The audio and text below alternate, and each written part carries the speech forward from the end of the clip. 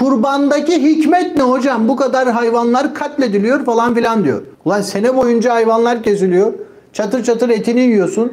Hiçbir tane katilden bahsetmiyorsun.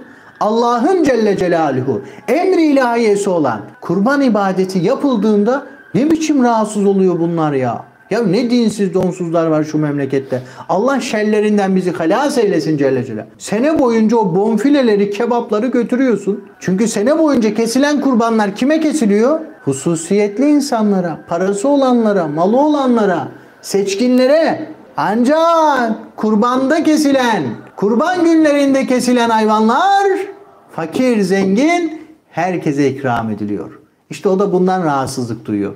Çünkü Müslüman olmayanı Müslüman edecek bir ibadet şeklidir kurban biliyor musunuz? İslam'ı ısındırıyor. Müslümanların kalbinden, fakir Müslümanların gönlünden zengin Müslümanlara duydukları kini ve nefreti kaldırıyor. Sene boyunca yemedi, şimdi ikram edildi kendisine. Ona karşı bir efendim iltifat duygusu uyandı. İşte hikmeti bunlardır. Kurban ibadeti. Kurban ne demek? Yakınlaşmak demek. Yani o etin kendisinde bir keramet yok. Hayvanı Allah için boğazlayıp kanına akıtıyorsun, Mevla'ya yakın oluyorsun. Kanının damlasıyla bitti.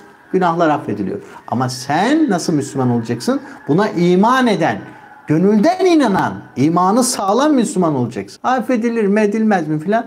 Seninki gitti. Güme gitti senin aff. Affediliyorsun. Çünkü senin etin veya etlerinin kanı Allah'a ulaşmıyor Celle. Ne ulaşıyor? Takvan ulaşıyor. Güzel niyetin, samimi, samimi niyetin ulaşıyor. Evet.